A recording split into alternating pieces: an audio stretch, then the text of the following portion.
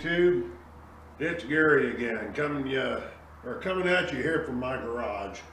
this is a new garage we built when we put the addition on the house. And there's my Chevy Equinox back here. It's a 2013. I bought that in like June, May or June, can't remember. But anyway, I love it. It's a great car. Uh, we drove down South Carolina a few weeks ago and got stuck down there in the floods, but uh, it performed great. I really like it. Good gas mileage. But anyway, I've got over my fear of camera shyness, I guess, and wanted to bring you the second up update on the break barrel shotgun build. I'll come up here a little closer where you can see what I'm doing.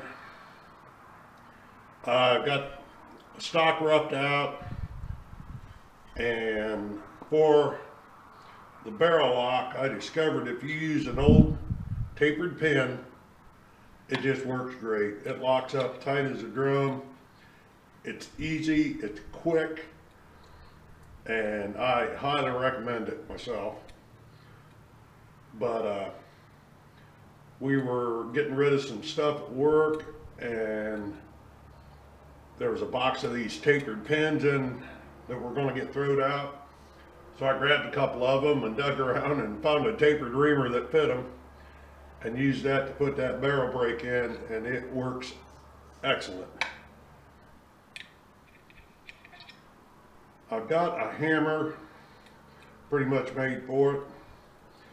I can, uh, my, here's my pivot point. Of course the hammer will go in the center of the receiver.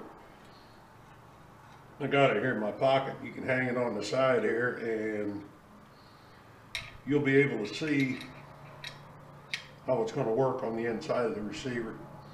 All we got to do now is come up with a trigger and a couple of springs and I should be ready to make some noise with it.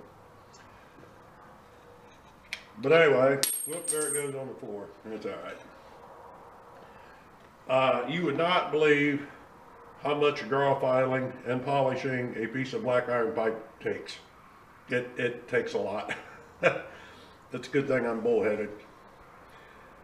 But anyway, this is where I'm standing now. And hopefully this week I'll be able to make some progress on it.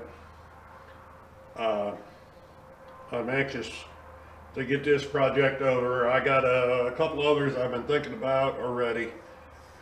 I guess you really shouldn't think about your next project till you get your present one done, but you know how it goes. All right, well, thanks for watching. I hope this little series will help somebody out. I realize I'm not going in too much depth, but most of it's just basic cut, cut, cut, file, file, file, cuss, cuss, cuss.